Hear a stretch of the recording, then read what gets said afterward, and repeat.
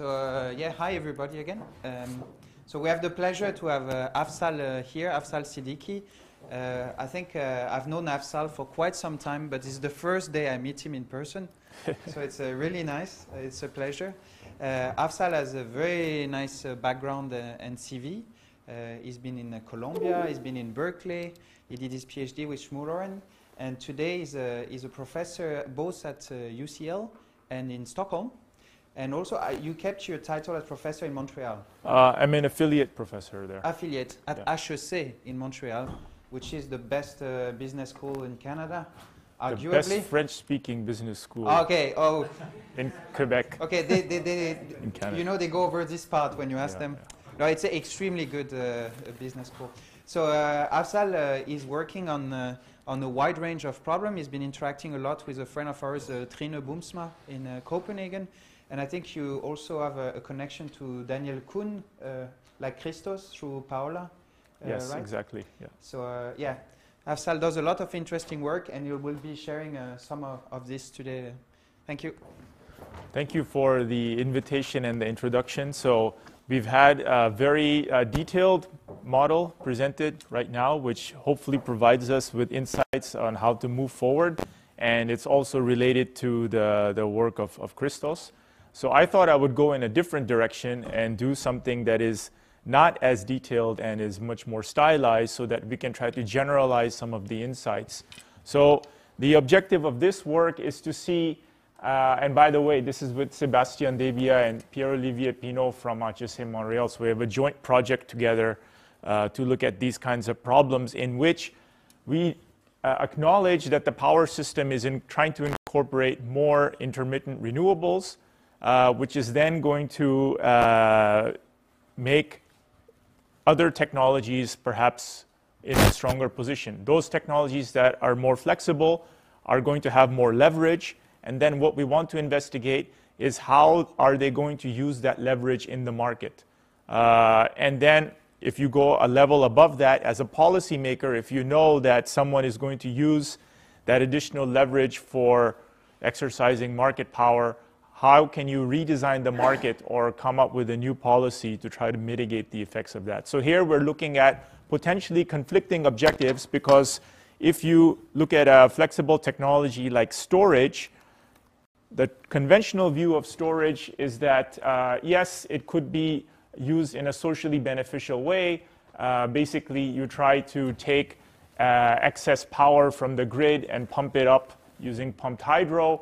And then when there is a, a deficiency in, in, the, in, in the market, you release power and you, and you, or you release water and you produce power during those hours. So this is the conventional view, and it's a very benign view of storage that it would always be used in this welfare enhancing way. Uh, but as the market has become liberalized, uh, the owners of storage are not going to have necessarily the same incentives as those of society. So what we're talking about here is private uh, incentives that are going to be in conflict with social incentives, which will lead to uh, use of storage which is not potentially not welfare enhancing. So looking at another flexible technology, gas-fired power plants, we have seen in a very simple sense that this problem has arisen in Germany as well, where you can see uh, this is a chart from several years ago, so perhaps the problem is more severe now. I don't know. This is a snapshot of the residual load, which is the uh, demand minus the wind and the solar. So this is the blue stuff, and it's being read off of the left-hand uh, axis. And then you can see during some hours, there's so much wind and solar being produced that you actually have negative net by volume. Uh, and coincidentally, during those hours, the price in red is also crashing to zero or to negative prices, which is being read off of the right-hand axis. So you can see that over these two or three days, the price of electricity is 24 euros a megawatt hour, maybe going up to 43 euros a megawatt hour, whereas gas-fired power plants are bidding in at 45 euros per megawatt hour. So uh, somewhat paradoxically, in this kind of setting, you need the flexibility, you need the gas fired power plants, but because of what's happening in the market, they're simply not going to be viable. So, again, society needs this flexibility, but as a private producer, why would I ever want to enter this market where I'm not going to be making any money? So, that's an example from a different setting, but again, looking at the role of flexibility. Going back to storage, this is also posing problems for regulators because they don't know how to deal with storage. Is it, uh, is it a generator? Is it a load? What, what is it? And in fact, a few years ago in Texas, there was this utility called Oncor that wanted to invest in grid scale storage for the purpose of mitigating um, congestion. Uh, the regulator in Texas studied their uh, their, their case and then eventually ended up rejecting it because they said even though you're, you are a utility and you have specified what you want to use storage for, because the way the electricity industry has been restructured, we cannot allow a utility to own something that looks like generators. Okay, we can't allow that. So this is perhaps a very uh, rigid perspective of the industry. Uh, so we think that regulators as well as producers need to take a more nuanced approach in order to examine the different roles that storage can play in order to identify the potentially uh, conflicting objectives that will arise and then propose market-based solutions for getting around those, uh, for, uh, those uh, conflicts and perhaps aligning the incentives in a more intelligent way. So really try to take a, a stylized approach. Uh, this is a, a, an equilibrium analysis in which we abstract away from a lot of the real world details so we can prove certain things. Uh, so we are not looking at uncertainty, we're not looking at transmission constraints. We're going to have a simple two period model uh, with a renewable energy generator that has storage and a thermal generator that is producing emissions. So we include the role of emissions because a lot of the early work on electricity markets that did look at storage uh, looked at particularly uh, hydropower producers. For example, there's paper by Crampes and Moreaux that shows how market power can actually lower water value. Uh, and this has been shown also empirically by Bushnell in a California case study. Basically, what they're saying is that if you have market power in a hydrothermal system, what happens is that the hydropower producers, because they cannot be seen to spill the water, what they want to do is to withhold power during the peak periods in order to raise the prices. Since the regulator will see that they're spilling the water, they can't do that. So what they do is they have a fixed stock of water. They try to dump it in the off-peak period to lower the price. The price is low in the off-peak period anyway, so if it goes lower, it doesn't really hurt them. By that, they can raise the price even more in the peak period and then make higher profits. And in fact, they do it to such an extent that the water value becomes negative. So, water value means how much are you willing to pay for an additional unit of storage? If I'm a Cournot producer, I'm putting a negative value on that because I want someone to take my water away from me so I can raise the price. And also, uh, you find in this kind of setting that a Cournot producer actually produces more in the off-peak period than a perfectly competitive producer. So clearly, storage is not being used in a socially optimal way. It's not the case that you are uh, allocating the resource across all periods such that the marginal benefit is being equalized. It's actually the marginal revenue of the producer that is being equalized. So there's a dif different outcome. So um, yeah, and there was another paper that looks at how this would work under uncertainty. But basically, this early work it looked at uh, problems with market power and had a niche with hydropower, but it did not do anything involving carbon policy. Uh, 15, 20 years ago, carbon policy was simply not an issue. Um, also, they by focusing on hydropower, they didn't look at any kind of generic storage device that would have efficiency losses. And in more recent years, Sioshansi has been developing these equilibrium models in which he's been trying more methodically to, to identify cases in which storage can actually be degrading for welfare. Uh, and he shows that in particular, when there's generator-owned storage and generators at market power, they're going to lead to very different outcomes in the market. Uh, but still, he doesn't look at carbon policy. Uh, so that's kind of where we're trying to go, is to look at a generic storage device with efficiency losses in the presence of carbon policy. How are the outcomes going to be different under market power as opposed to a perfectly competitive setting?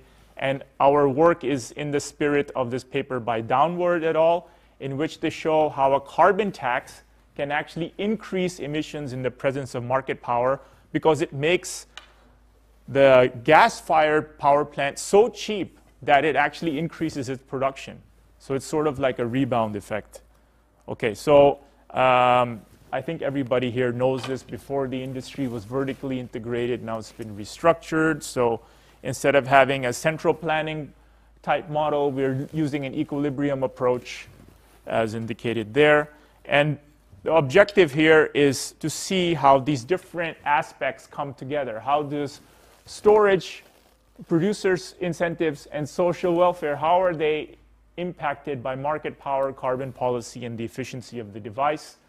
Uh, basically, what we find is that the main findings from Bushnell, which is about more off-peak renewable production and a negative marginal value of storage uh, under market power, they will start to be reversed when there is a carbon tax. Because what happens when there's a carbon tax? First of all, there's a direct effect in which there's a thermal producer who is creating emissions. If you put a carbon tax, that thermal producer will reduce its production. That's the direct effect. At the same time, by imposing a carbon tax, what's going to happen is that it's going to make um, incentivize the renewable, renewable production to increase in both the off-peak and the peak periods.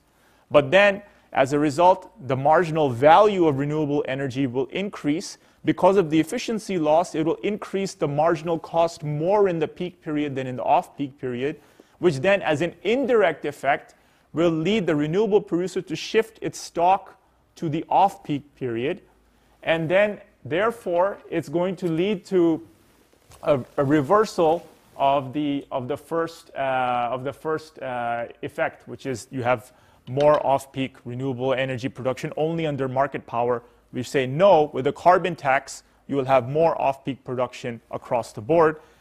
And also we find that because the price increases more in the peak period, you may actually end up increasing peak thermal production under perfect competition. So this is a perverse outcome of a carbon tax where the price of the, the price goes higher under the peak period and the indirect effect is to induce an increase in the thermal production. So that's one thing we find when you int introduce a carbon tax. A lot of the standard findings from the literature about the use of storage start to fall apart. Also, uh, the impact of efficiency is uh, kind of counterintuitive or seemingly counterintuitive. Under uh, market power, it has a straightforward uh, monotonic effect. What happens is that if you have a very inefficient device and you're a Cournot producer, and I say, okay, I'm going to increase the efficiency of your storage device. You can take more energy from one period and send it to another. How much more are you willing to pay? You'll say, well, I'm willing to pay less. I don't want you to give, improve my, my efficiency. I want less of this renewable energy. What are you doing? So in that case, it's monotonically decreasing as the efficiency increases, the marginal willingness to pay for an additional capacity of storage. So for a, uh, a Cournot producer, there's a monotonic effect. But for a perfectly competitive producer, there's a non-monotonic effect. First of all, what happens is that, let's say that you have a very inefficient storage device. You go to a perfectly competitive producer and you say, I'm going to increase your efficiency. How much are you willing to pay? You'll say, oh, more efficiency means I can shift more energy to the peak period. Yeah, I'm willing to pay more. So the marginal value is increasing, but you get to a certain point when you will actually be having so much extra energy during the peak period that it'll start to depress the price, and then the perfectly competitive producer will actually want to pay less for the additional unit of uh, energy that it's going to get from the higher efficiency. So the marginal willingness to pay increases first in the efficiency, then it reaches a turning point and it actually starts to decrease because there's actually too much energy uh, being produced in the peak period. And what that it, does, it then does is it tries to put more energy in the off-peak period. So even a perfectly competitive producer starts to behave like a Cournot, mono, like a Cournot oligopolist by trying to dump more energy in the off-peak period because it has too much energy. Yes? What you say is very interesting, and, I, and I'm then uh, thinking, is there a way to, to, to find a, a closed form solution, an analytical expression that would determine this uh, optimal efficiency uh, as a function of market characteristics? So I don't know, some kind of I don't know, if we say it, it's a quadratic uh, a supply curve in the market based on the coefficient of this uh, quadratic supply curve or something? Because you say if we, if we have that, we can actually inform the, the, the, the technology obsessed people and say, you know, actually uh, storage of efficiency, I don't know, 75% is good enough. If we go for more, it's not going to do any good, right? So can we find this kind of expression, or it's only through simulation that we know that this point exists, but it's very difficult to, to find where it is? Yes. That's, that's this one. Okay, sorry. That's my answer. my answer is yes, but I will show you as uh, in, in the model because it's a stylized model, so you can find a lot, but not all of these turning points, but you can identify most of them. Um, and then the other thing is, what can you actually do? Because actually, if you look at it from a social perspective, more device, higher device efficiency reduces emissions and it increases welfare. But from a private perspective, even as a perfectly competitive producer, more efficiency first increases my profits, and then when the device is too efficient, it's actually going to start to decrease my profits. So then you see that there is a conflict between the private incentive and the public incentive. Now, if you're a policymaker, like you say, what can you do? Well, maybe saying, don't do any more research in, uh, in storage efficiency after 75%. Maybe that doesn't look good. But what you would actually want to do is, is to get is to bring the, the private producer along and say, no, look, this is going to increase your profit as well. One way to do it is to impose a carbon tax, because what the carbon tax does, first of all, is it increases the marginal value of storage. And then secondly, what the carbon tax does is it makes you put more energy in the off-peak period anyway, which obviates the need for more the, the, the, impact of this storage efficiency. So it aligns the incentives to a greater extent. There's still going to be a turning point, but it's going to happen at 95% rather than 75%. Question? I, didn't, I didn't understand why uh, higher efficiency is not uh, wished by the by the non uh, by the um, perfectly competitive the storage with uh, that is not perfectly competitive. Oh, by the power. by the Cournot Cournot yes. producer. Yeah. So the Cournot producer basically has a fixed stock of renewable resource. There's an off-peak period and a peak period. It can decide how much to produce in each period. If it saves the stock for the peak period, there's like an efficiency loss. So it can't it can't dump uh, the, the excess resource. So what it does is it actually tries to use it more in the off-peak period. So if it's using it in the off-peak period and the efficiency is high, then there's still going to be more left over in the peak period, which it doesn't want. Mm-hmm. So its valuation of the, re- of, the, of the marginal value of storage is always negative.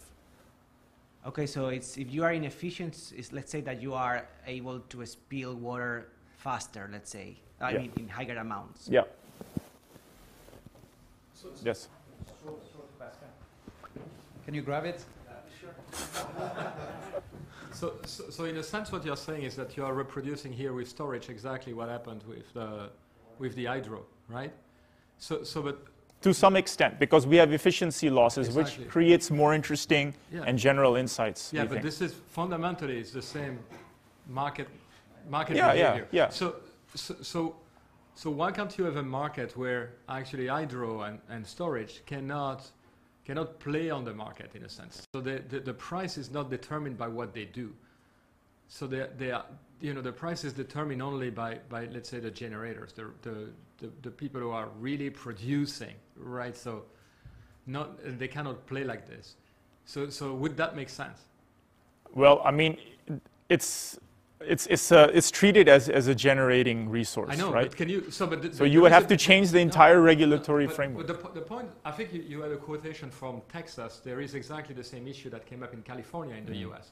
And there were actually two rulings that were contra- contradictory with each other. So you could view storage as part of the generation, but you could also view it as part of transmission, right? It's something that can eliminate congestion and things like this. So if you view it as transmission, it's very different. It doesn't take, it's not a generating unit any, anymore. Mhm. It's, so, it's something that's going to handle congestion. And so if you view it that way, it's a very different, it, it doesn't play inside the market. It's, it just, it's just kind of a virtual line concept or something like Mhm. this, right? Yeah. And so, so if you see that, if you see that, don't you think that you would get out, get out of these paradoxes? Uh, yes, uh, to some extent, but then who would be the owner of that resource? Who would be So, operating? so one, one of the things I'm very interested in, in, in looking into is if you can have the transmission operator owning this, but they are Yeah. actually only using this for, uh, you know, congestion management. For. But For- FERC, to my understanding, has not looked favorably upon ISOs owning storage. No, no, I, I, I, I, I don't, I don't know that, but Yeah. I, think, I you know FERC is FERC is FERC. I mean, we, we are scientists, right? So we, Yeah, we could yeah. say this is the right way. to do it. Sure, sure. But it's the idea of having a storage as a system asset, not agent Exactly, asset. exactly. And this is why we have this financial storage right idea, just to, to make sure that this Mm. storage will be used as a system asset and then uh, there is some uh, revenue streams for that, right?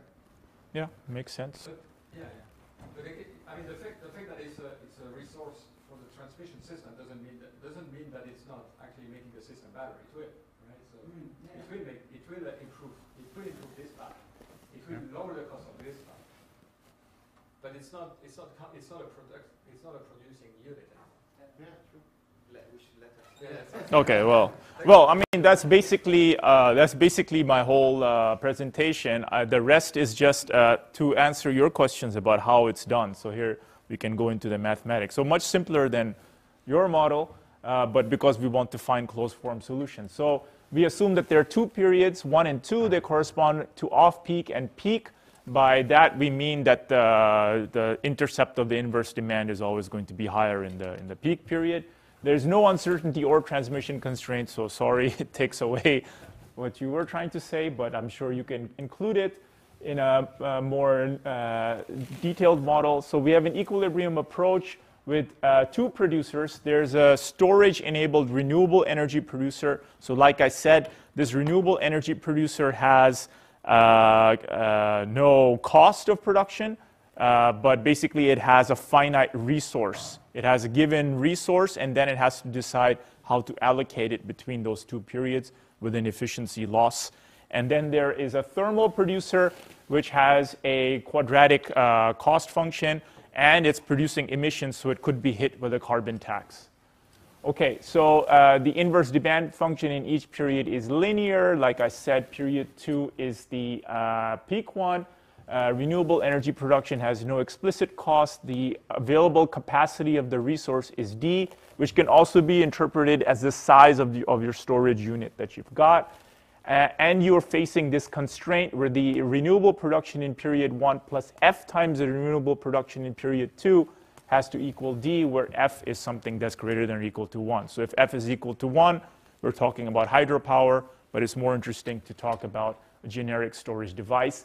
And it's an equality constraint rather than less than or equal to because uh, we don't want you to be able to spill this resource. The regulator will look very unfavorably upon that. Uh, the thermal cost production, like I said, is quadratic uh, and you have an emission rate R, and you can be hit with this carbon tax. The only assumptions we make here are that A2 is greater than F times A1, so it's period 2 is the peak period. And for interior solutions, to get interior solutions across the board, the sufficient condition is that this C parameter, the marginal cost of the thermal producer, has to be greater than 0.17. So those are the only assumptions we make. So we try to make this as general as possible. First of all, let's look at the renewable energy producers problem. Problem is to maximize uh, profits subject to the uh, resource availability constraint. Profits are just the revenues in period one plus the revenues in period two. The mu is the shadow price on the, on the resource. So this is equivalent to the water value from the hydropower problem. We're going to use this to help gain some more insights about the marginal value of storage in this context. So it's a convex optimization problem. It can be replaced by its KKT conditions. So we have these three KKT conditions. Of course, if you're perfectly competitive, then these twos disappear. But basically what this is saying is that in each period, you're going to produce until, if it's an interior solution, marginal revenue is equal to marginal cost, where marginal cost is the marginal value of storage, except that in period two, it's going to be F times mu, where F is the rate of your efficiency loss. Okay, so for the thermal producer, it's an unconstrained optimization problem taking into account the revenues from sales in period one, period two, cost of production in period one, period two, and the carbon tax that's being imposed in periods one and two. Uh, so this is also convex. It can be replaced by its KKT conditions. Again, if it's perfectly competitive, the twos will disappear. And the first order necessary conditions for an interior solution imply that the marginal revenue equals the marginal cost of production plus the carbon tax that's levied. So what we're doing, uh, just to give you a note, is that this is an open loop approach. There are two periods, but the decisions are being made as if they were being made all at once.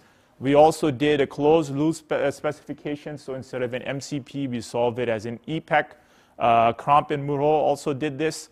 It doesn't change the qualitative results at all. The only thing that happens is that the renewable energy producer is able to anticipate the response of the thermal producer and is therefore able to shift more energy to the peak period because it knows that the thermal producer is going to produce less.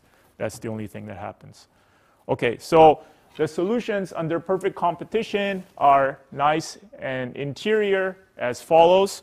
And here's the interior solutions for Cournot oligopoly. As you can see, it's beautiful. Uh, but what we want to do is to, so this is, I think, one thing that uh, we do that perhaps other papers that take a similar approach don't do we don't just assume that all the solutions are going to be, uh, are going to be interior. We specify the conditions that need to hold for these solutions to be interior.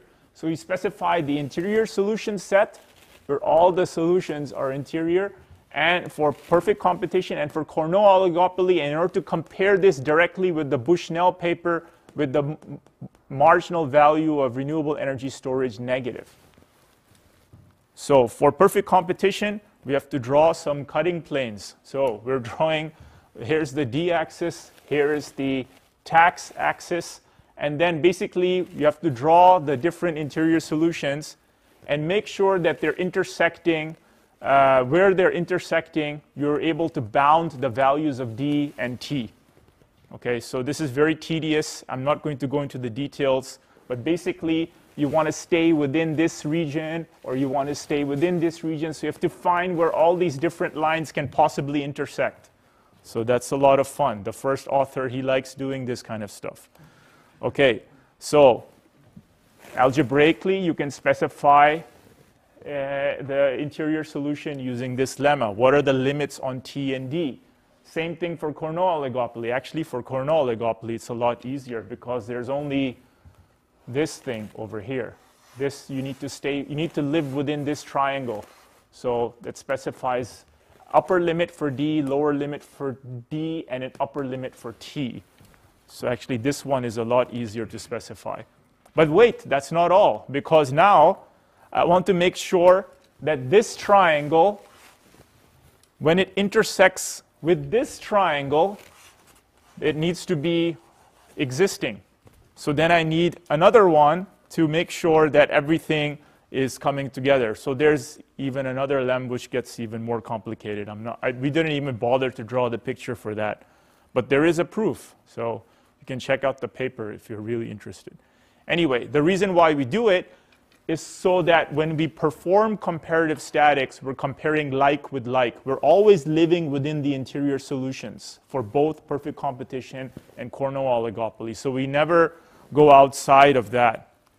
Okay, the main results, first of all, with uh, carbon policy, what happens is uh, that uh, under perfect competition, if you have uh, carbon tax, you are going to shift renewable energy production from the, from the peak period to the off peak period.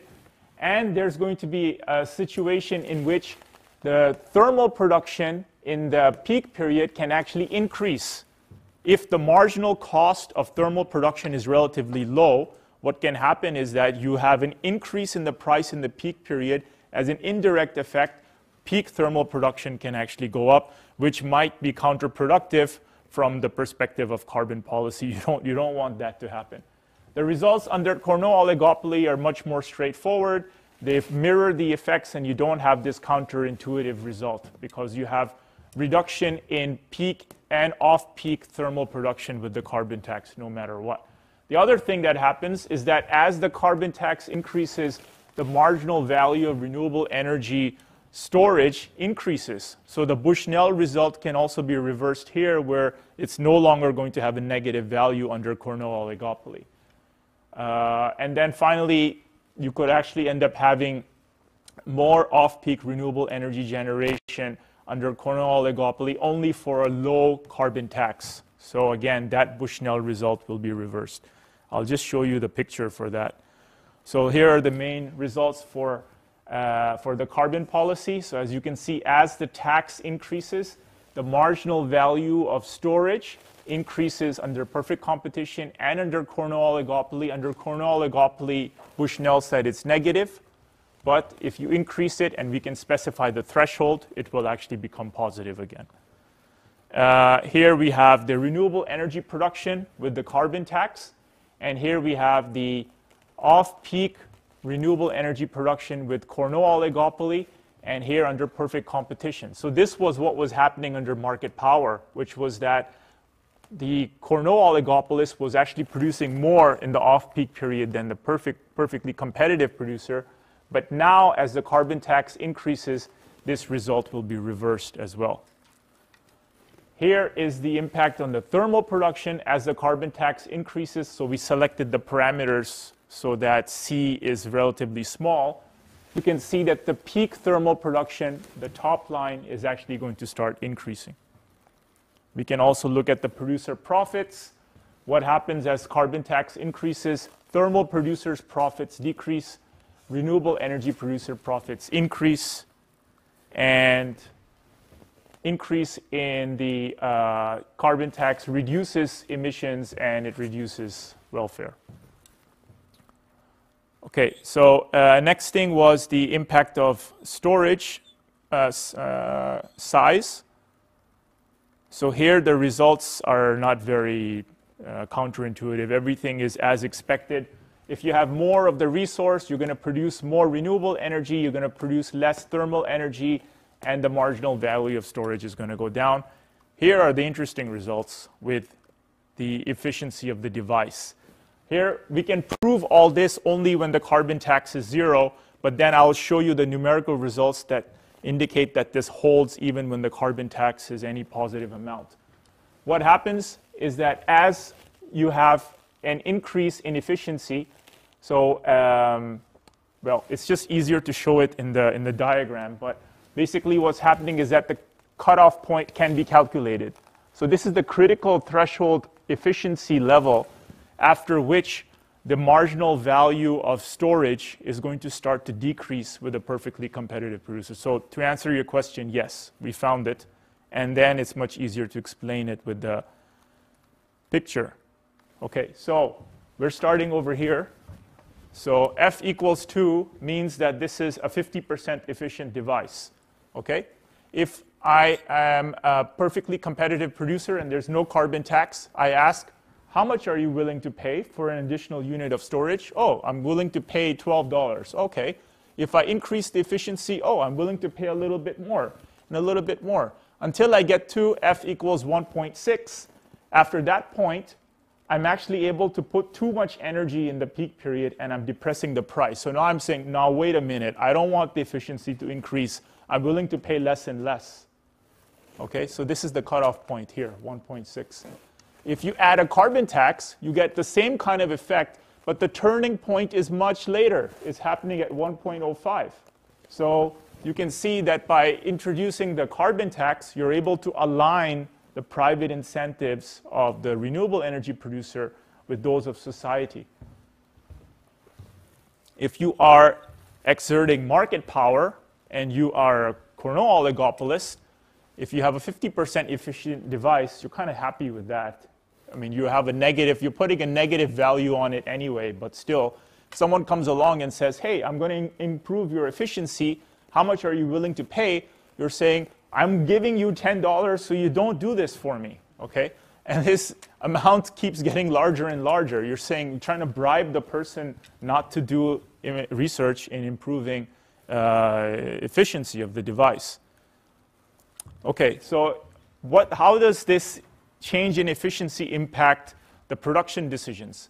If you are a renewable energy producer and there's no carbon tax, what happens is that if the device is very inefficient and then I come along and I try to improve the efficiency, what you do is you reduce the production in the off-peak period so that you can use the increased efficiency to produce more, try to produce more in the peak period. But then when you get to the turning point, now you have too much energy. Now you start to increase production in the off-peak period again to get rid of that excess energy. Same turning point happens when there's a carbon tax, but for a much lower uh, level of F or a much higher level of efficiency. Thermal production is pretty much as expected. Uh, as the efficiency increases, you're producing less and less from the thermal unit, except in the off-peak period when you're perfectly competitive to counterbalance what's happening with the renewable energy producer. Renewable energy producer is reducing its production in the off-peak period, so the thermal production is ramping up up to this point when the renewable energy producer now actually starts to make more in the off-peak period, so then the off-peak thermal production starts to go down.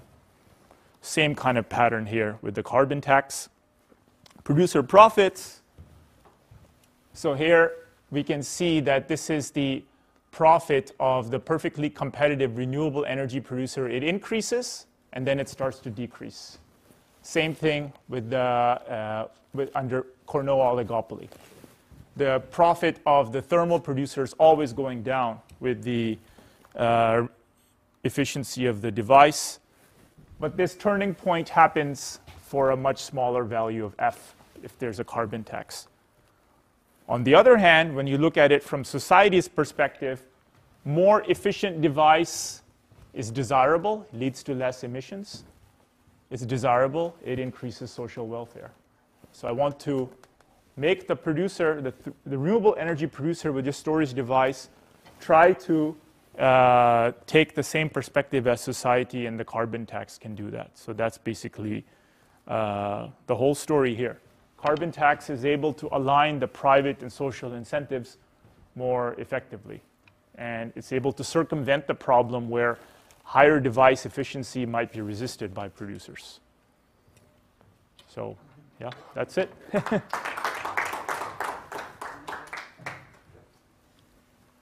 thanks a lot. Uh, that was super interesting. But I'd like to build on what Pascal was saying. When we have basically these results of, uh, uh, let's say, it's, it's socially efficient, but yep. not seen from the side of the, the let's say, the individual agents. Mm -hmm. I mean, that's where we have to, to, to design an additional layer. So you can go extreme and push this and make it become an asset. Yeah. Otherwise, I mean, the point of a flexibility market or any kind of premium would be to say, well, we know you're doing something for us, so now let's just design some kind of top-ups you're going to get yeah. so as to counteract for this effect, right? Yeah, exactly. So is there hope we can actually design this kind of thing? So I think the, the, the, premium would be easier to design at this extra market because otherwise yeah. we're going to have to coordinate everything. And uh, yeah. So have you gone towards that? Or? Well, uh, yeah. So there there is a related paper that deals with storage investment. So it also takes a stylized approach. It's a bi-level model.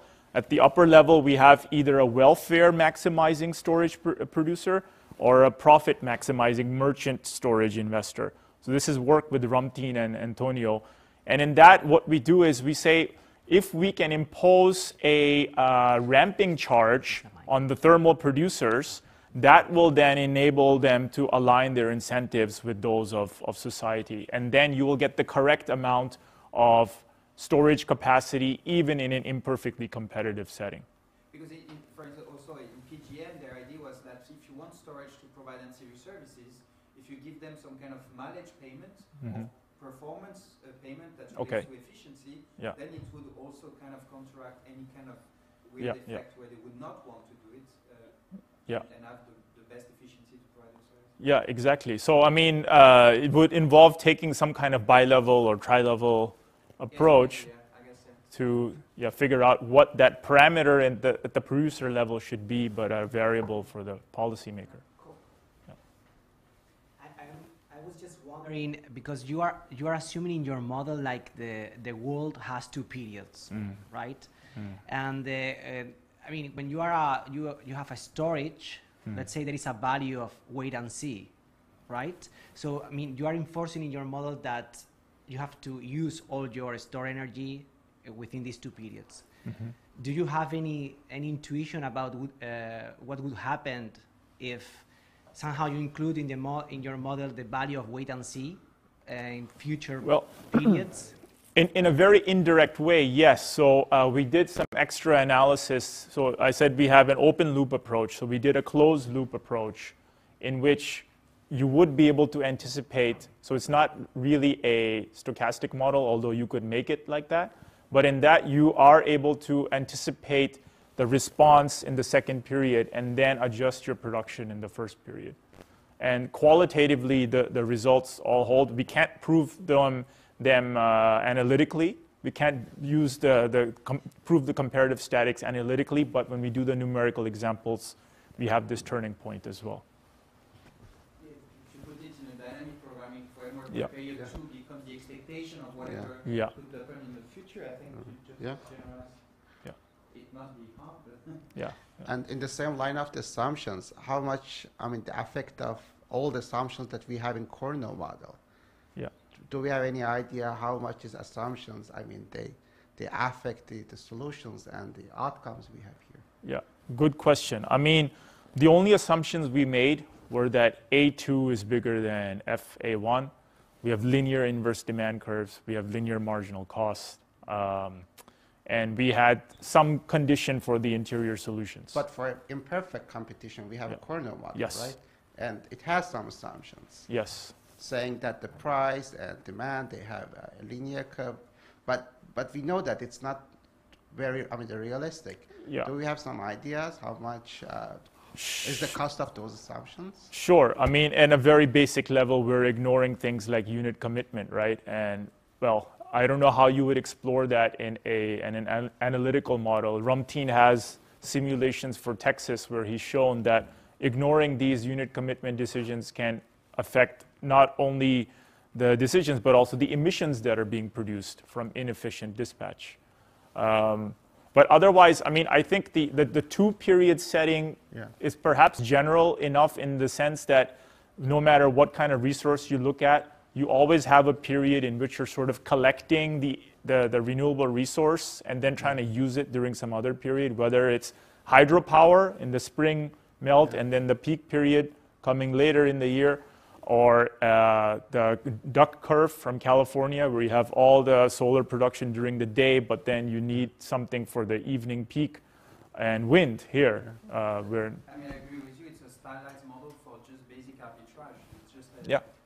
I have two time slots and I have decisions to make on how I, I share, yeah, and, and that's it. you. Yeah.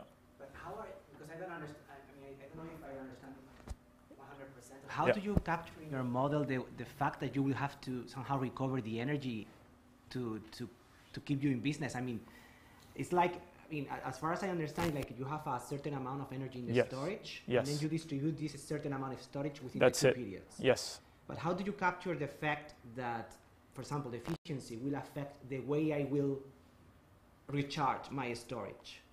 Well, the efficiency enters into it with how you move the collected stock from one period to the next. That's it. It's not about the, the, the recharging. Okay. Yeah. I just say you start, you start the period with, with this D megawatt hours of energy and you decide how to use it. Yeah, because I, I'm thinking about, for example, a, a, a pump hydro storage. Yeah, Yeah. So at some point you will need the x to become negative to. Yeah, we don't, we don't have, yeah, we don't have the initial charging decision. I just say you start with this much. Okay, that's okay. So Yeah. that's what I understood. Yeah. So i- I mean, and you don't think that the recharging can have an effect because now mm, I'm very inefficient. Yeah. So if I'm very inefficient, I will have to pay more when it comes to pump up my Yeah. my water. Well, I mean, the, the two are not going to be the same either, right? I mean, like the recharging efficiency and the, you know, the periodic losses, they are not they going to be the same. different efficiencies. Yeah, they're going to be different. In general, they're not going to be the same thing. So, I mean, I think that's that's completely valid, and it needs to the model needs to be enhanced to take that decision into account. Where are you going to go, and how are you going to recharge? And then that's going to add another layer of complexity. But this can be thought of as maybe like a medium-term model, in which you know how much water is being allocated to you or how much energy is allocated to you from some long-term planning model, and then you decide how to use it in that season between peak and off-peak periods. Yes. Can I ask you? It's a, it's more of a future work question. Yeah. Thinking of the, the tipping point, you have the, the last thing, Mhm. which is intermittent renewable output. Yeah. I, I was just wondering if you, uh, I don't know, conjecture or expect that thanks to the uncertainty and bringing that in the decision-making problem, somehow, even though this tipping point exists in a deterministic setup, people will not, uh, I'd say, feel it anymore or foresee it anymore because of the uncertainty in the renewables. So, so then they would still be ready to pay for increased Right, right, yeah, efficiency. yeah. Because they say, since I don't really know what's going to happen, I might as well be efficient in the way I'm going to store energy and release later. Yes, Right? yes, precisely. So, I mean, there are other reasons why storage would be used, not just for uh, enhancing welfare or just for this pure It's arbitrage. just for arbitrage, Yeah, yeah, yeah. exactly. There are other uses for exactly. for, so we would yeah, hope uh, that yeah, for ramping, relieving ramping costs and relieving. Yeah, if you put some ancillary service uh, Yeah, kind of yeah. payment, yeah. Yeah, exactly. Well, and initially we started this by saying, oh, this is going to be so simple. Uh, we will have a transmission, we'll have two nodes, transmission line, two periods, two kind of producers. And then the problem is with the transmission line, you end up having so many corner solutions and so many interior solutions that you just can't get anywhere with the comparative statics. Yeah. So we got rid of it and we just had a single node. But I think it also goes towards the Pascal comment because eventually, so the arbitrage idea is the, the, the basic uh, concept for a market participant. That's what they will want to do. But somehow now that we start adding all these extra fun Mm. features in there, we realize, okay, but it's much more of the system operator now that Yeah. should take care of that because it's going to be ancillary services, management of uncertainties, and so on. Yeah. So I think the more we go into these things, the more you want to push this to the system operator. Yeah, Because yeah. yeah, anyway, market participants will not want to bother with all these kind of things. It Yeah. gets too complicated. Yeah, right? exactly. Yeah. So, and, and I think the going back to that point uh, at the beginning is that I think the whole uh, conceptualization of storage is too rigid and perhaps based on regulation that hasn't kept up with uh, how technology has changed. So, you know, we need to think about how storage could be used by different players and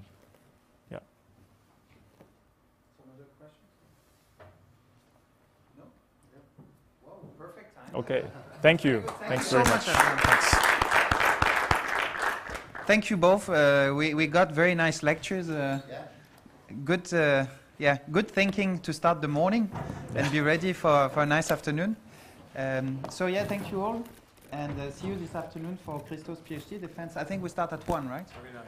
Yes, good. You too. Thank you.